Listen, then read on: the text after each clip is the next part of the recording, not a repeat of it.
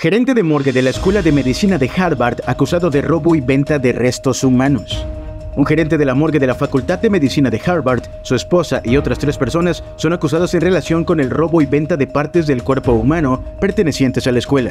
De acuerdo a fiscales federales de Pensilvania, Cedric Lodge, de 55 años, de Galveston, New Hampshire, gerente de la morgue, robó porciones disecadas de cadáveres que fueron donadas a la escuela en el esquema que se extendió desde 2018 hasta principios del 2023, según documentos judiciales. Según declaraciones de las mismas autoridades de la escuela, quienes hasta el momento han cooperado con la investigación, los restos humanos, material con fines educativos, fueron tomados sin autorización de la universidad.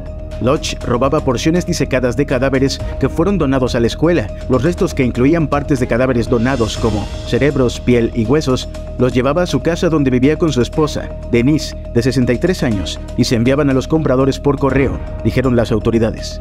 Luego de que los compradores eligieran qué partes querían comprar, Lodge les permitía ingresar a la morgue para concluir su venta, entregándoles todo lo pactado.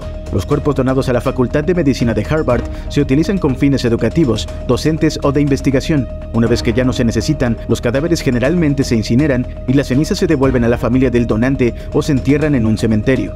Hasta el momento, las investigaciones señalan a varios implicados, además de Lodge y su esposa, Katrina McLean, de 44 años, dueña del negocio llamado Cat's Creepy Creations en Salem, Massachusetts, también se presentó en la audiencia en una corte de Boston, donde la fiscalía dijo que la acusada aceptó haber comprado a Lodge dos caras diseccionadas por 600 dólares en octubre del 2020, según informó la televisora CBS. Jeremy Polly, de 41 años, Joshua Taylor, de 46 años, de West Lawn, Pensilvania, Matthew Lampy, de 52 años, de East Bethel, Minnesota, con conspiración y transporte interestatal de bienes robados, también fueron acusados.